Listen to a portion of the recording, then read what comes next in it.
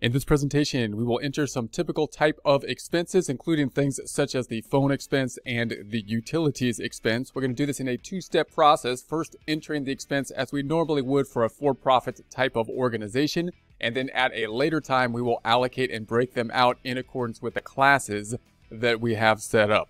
Let's get into it with Intuit's QuickBooks Online. Here we are in our not-for-profit company, not-for-profit organization dashboard. We're going to go on to Excel to think of our objective. We're now on tab 8, so we are on tab 8. We're going to enter some of the normal kind of business transactions, normal type of expenses you might consider in either a for-profit or not-for-profit type of organization. So we got the telephone expense, and so if we're going to be paying something like the telephone bill, we're going to have a typical kind of setup for this. We're going to be writing checks, therefore cash is going to be decreasing, credit to cash, debit to the telephone. And so if we had obviously this one on the effect on the accounts, then would be a debit to the telephone expense and a credit to the cash. Now note the difficult thing about these transactions is that we also are going to have to record these and break them out by category. So note down below where we have our statement of activities on the expense side of things, we're going to be breaking them out with uh, with restrictions and without restrictions and so on in this breakout, which we will do by classes. And then we'll further be breaking out the items that are, are without restrictions uh, into, into what they are used for, breaking them out by function. So note when we enter this into QuickBooks, we will typically see the items as as their nature, their nature being like the rent expense, the salaries expense, that's what they actually are in essence, that's their nature. And then by function, what they're used for, programs and, and other admin type functions, including the program of education, community service, and then the admin function and the fundraising. So what we need to do is then enter this information like we normally would, assign them to the proper account, use the classes to, to then assign them out as, as um, uh, we'll, we'll start off with unclassified, then we'll use the classes, then we'll go back in there and, and assign the classes to these items so that we can then break out the more detail for uh, the classes. We'll use the class feature within QuickBooks to do this. We're going to do this in essence in a two-step process, and I think this is how you would want to do it in practice because it's just going to be a little bit faster if you have to do this two-step process. One, I'm just going to enter it in there and I'm not going to assign a class and I'll just enter everything in there so that when you do the data input, you can assign someone just say, hey, just do the data input. Don't worry about the classes. It will then populate into unclassified and then go in there at the end of the, a period or month or week and then assign the classes going from the, uh, the income statement by class back to the information to assign the classes. We're going to do the first of those steps now, which will be similar to just a, a for-profit organization just entering the expenses. So telephone expense, we're writing a check, telephone expense. Postage, same thing. Cash is going down. We're going to put the other side to postage expense. Just what you would expect them to go to in account format by nature. And then we'll think about by function later, by program and so on and so forth. And then cash and the utilities, supplies, cash goes down. And then we bought supplies on account, which means this time uh, accounts payable is going to be going up instead of cash going down. And that's going to be it. All right, so let's do it. Let's start with the telephone first. I'm going to highlight them green as we go. So the last green one, that's the one that we're going to be working on. We'll start off with the telephone. With the telephone. Then let's go on back over to QuickBooks. Going to hit the plus button. Now, if we're paying this by check, obviously we would write a check. If it's some kind of electronic transfer that we're just entering into the system, we could simply go to the expense here. Also note you if, if you're entering in, into the system, you might use like a, a bank uh, register. You could use the register as well to quickly enter them into the system as well. I'm going to use the expense form. So let's open up the expense form. We're going to say that Verizon is our telephone company. So I'm going to type in the vendor was going to be Verizon. Verizon. It's going to be coming out of our checking account. So make sure that you got this drop down going. Whoop, it, I didn't add it. V-E-R-I-Z-O-N. Verizon. Is that how you spell Verizon? No, that's not how you spell Verizon. It's supposed to be V-E-R-I-Z-O-N, I think. So there it is. And then I'm going to say save. And then I'm going to select the drop down. And this is going to go to the checking account. So we'll pick up the old checking account here. I'm just going to tab through and the date then, let's make this uh, 013020. So it's towards the end of the month here. It's going to be an electronic transfer, we're going to say. So I'm just going to use cash as the payment type or, or possibly I should leave that blank since it's cash. And then I'm going to go down and we're going to be entering then the telephone. Let's see if they have one for us. Do they have anything like a telephone expense? I don't think they give us a telephone expense, which is a little unusual to me. They do have the utilities. This is where we'd have to think, do we want to group it in utilities or break out the telephone? Typically, I think most companies break out the telephone out from the utilities, so that's what I'll do. But that's the method that you want to think about with these expenses. First, the expense categories that they gave us. Can we find one that's appropriate there? If we can, then we probably should use it. If the name is slightly different, then we can adjust the name in the chart of accounts is probably the best method. And then if they don't give us the account we want, then and only then after we've kind of considered the options, should we add an account. Otherwise, things get messy real fast if we add, if we just keep on adding accounts. And, and also, obviously, if you're doing the second month of operations, you should always be checking the prior month to see what happened there to first consider consistency. So you want to be consistent uh, as much as possible. If you make a change, then make sure that you are doing it for a reason and then and then implement that change from that point on forward. All right, so then I'm going to say other. Uh, I'm just going to say other business expense here because this is really the key point that we need on the name. I'm just going to call it telephone. Telephone. There we have it. And then I'm going to say save. And that looks good. And the amount, let's pick up the amount, is for 6,200. So we'll pick up the amount 6200. And then we don't, I'm not going to put a billable, not customer, and I'm not going to have it as a class because I'm going to leave it to go into unclassified. And then we're going to go back in and classify it at a later time. So what's going to happen here? Expense means the cash account is going to go down this is actually going down from the checking account. So the checking account is decreasing, of course. Other side then going into the income statement, profit and loss. It's going to go into the account of the telephone expense and it's not going to be classified, therefore going into a default category of unclassified, which we will then go into at a later point, later presentation at the end of the month, one by one, and reclassify that entire column at one time. All right, let's say save and new. We're going to do this a few times. So I'm going to say save and new. I'm going to say, yeah, thank you for letting me know about that, uh, QuickBooks, but that's okay.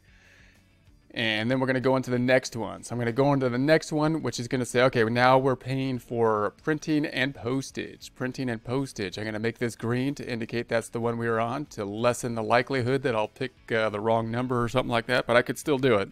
But I really think the colors are helpful. They they make it they reduce the reduce it. So I'm going to go back over here, and then we're going to say this is going to go to let's say Staples. Staples.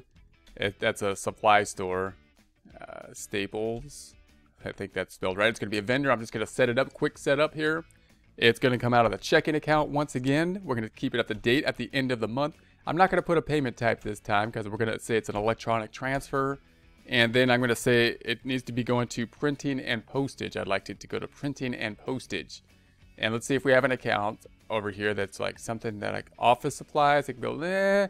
So I could put it in office supplies if it's postage. You know, I might want to put it in there. It might be too small for me to break out. Maybe I don't want to break out the postage, but I kind of like to track my postage in separate account. This is kind of the, the, how I would mull things over if you were thinking this out. You know, do I want to, you know, do I want to put it in there? Is it worth it for me to put it into another account? I think it is here. So I'm gonna have I'm gonna have another account for this one. I'm gonna say let's add another one.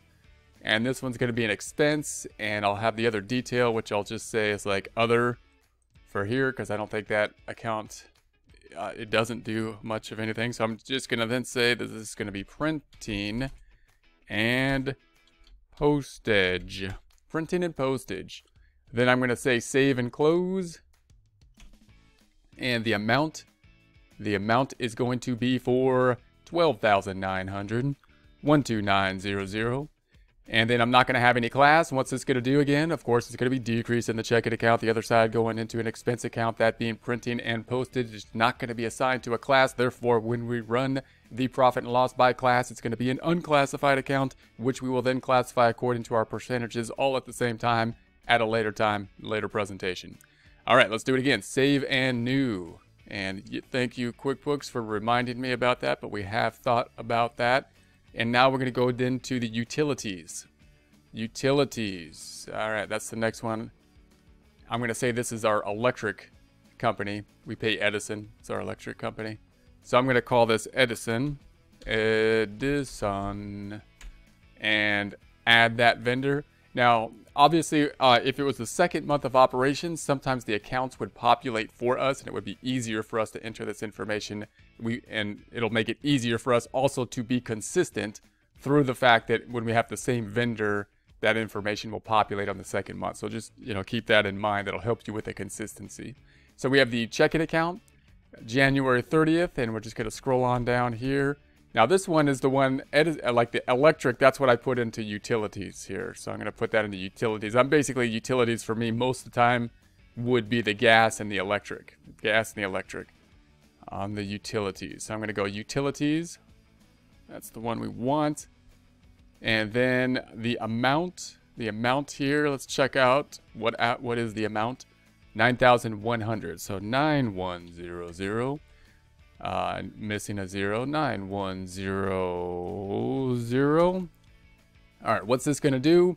It's going to be decreasing the checking account. The other side's going to go to an expense account on the income statement or profit and loss, that being the utilities expense. It's not going to go into any class, and therefore in the profit and loss by class, it's going to be in an unclassified area that will then classify all at the same time at a later point in accordance with our percentage breakout. All right, let's do it again. Save and new. Save and new. Thank you, QuickBooks, for the reminder, but it's okay. And we're going to go back on over here and do this again. So now we're on the supplies expense. So now we have supplies expense. I'm going to make that uh, green. So I'm going to go back over. We're going to say supplies. And I'm going to say this came from Office Depot. So I'm going to say Office Depot and the it's going to be from the checking account and same date. Now I wanted to use Office Depot because this is going to highlight kind of a problem that you just you need to be aware of. When it, last time we used Office Depot, we put it to the account of property, plant, and equipment.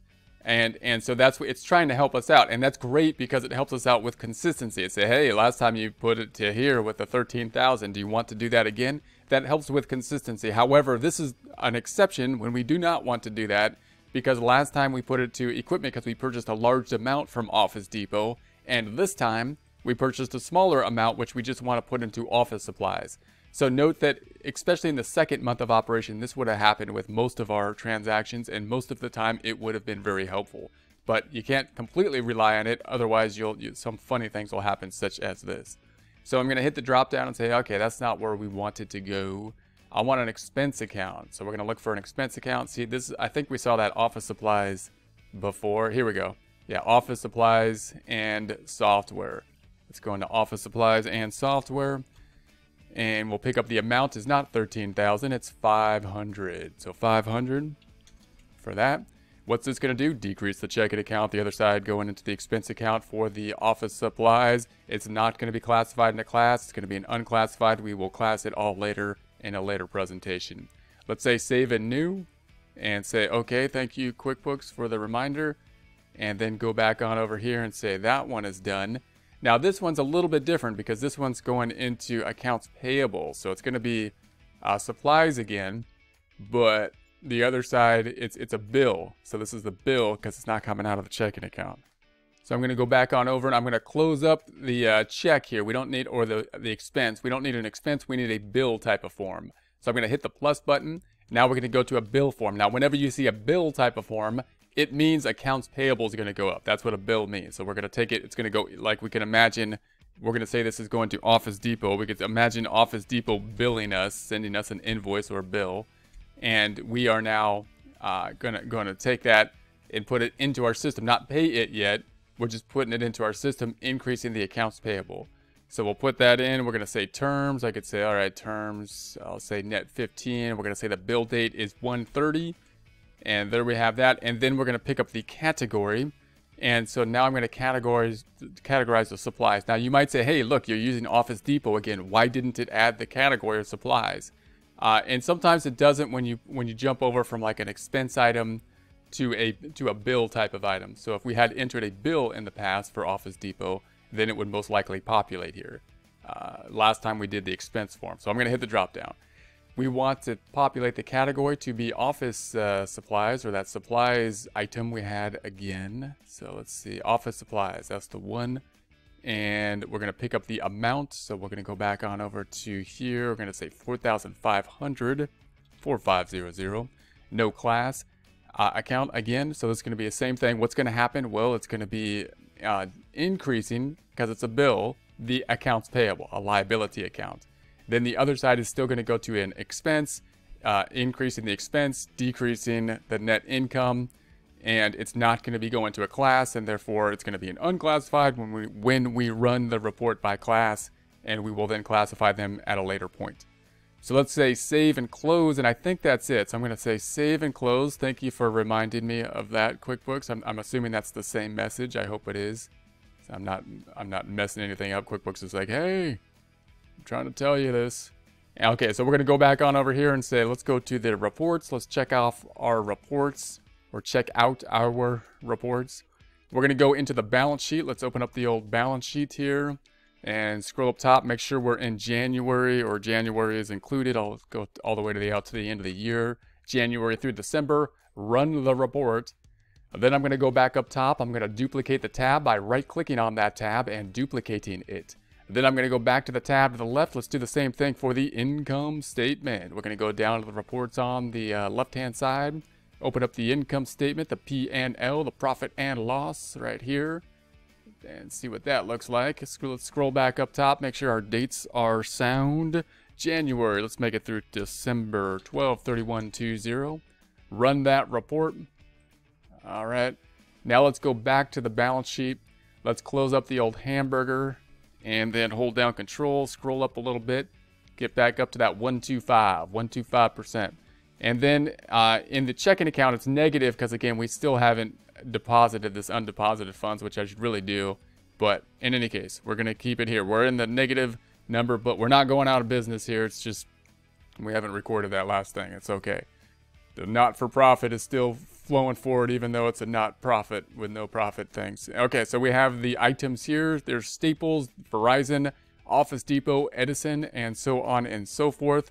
Here are our items. Everything has been included, I believe looks looks correct, except for, of course, the one that went to the bill as opposed to the expense forms. If we go into any of these forms, we'll actually go into that expense form. If you needed to make any changes at that point in time, it is possible to edit the form once you go back into it. So let's go back up top, close this back out, and then go back to our um, balance sheet, back to the balance sheet. And then the other the other one that we entered with a bill is going to affect the accounts payable. Here's the accounts payable form. Let's open up the old accounts payable form. There's the bill. So anytime you see a bill type of format, it will be increased in the accounts payable. Bill means increase to accounts payable. The bill and the expense and check forms look very similar, but that's the major differences. Bills and checks or checks and uh, expenses will be decreasing the cash account. Bills will be increasing the liability account. All right, let's go back on over to the balance sheet.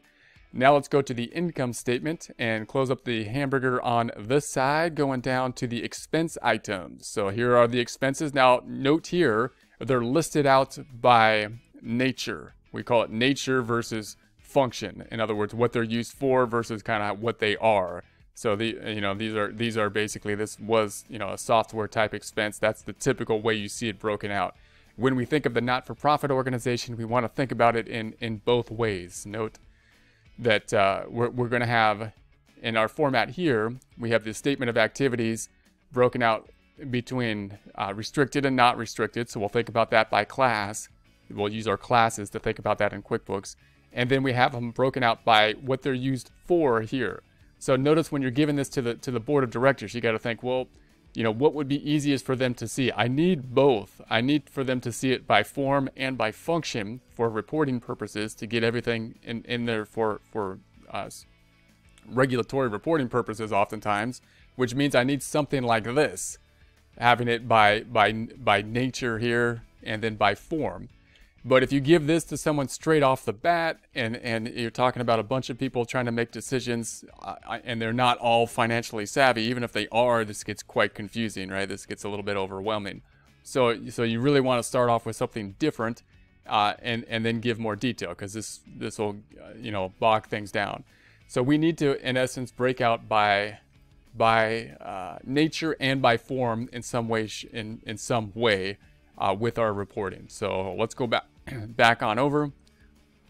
You can see here they're by nature, which is usually what most people consider to be thought to be thought of in, but it can be useful with decision making to then think about, well, how are we allocating that out to to the function? What is it what we actually do, the programs and the administrative functions? Because when you're looking at a not-for-profit organization, just realize that one of the things people are really concerned with is if you're taking this money, how much of it is going to the programs versus management in general, which is really going to the the workers that that because that shows how efficient the program is. So you really want to think of well, how much of this funding is actually going to you know what I'm trying to trying to donate for, trying to what we want to actually do, the purpose of the program, and not to the administrative or you know you want a, an efficient amount going to the administrative. Okay, so if I go back on over here, we have that. Now, if I go into any of these these items, that will of course take us back to the um, checks or expenses that we have written. So let's go back up top. Now what if we want to break this out by class? If I select the drop, I drop down and break this out by classes, and that will help us to see the function. So we saw it by nature. Now this will help us out to see it by function. However, note that we didn't assign classes yet, you'll recall. That's why I kept on giving us those messages every time we entered it. It's an unspecified. So we have them all in unspecified over here.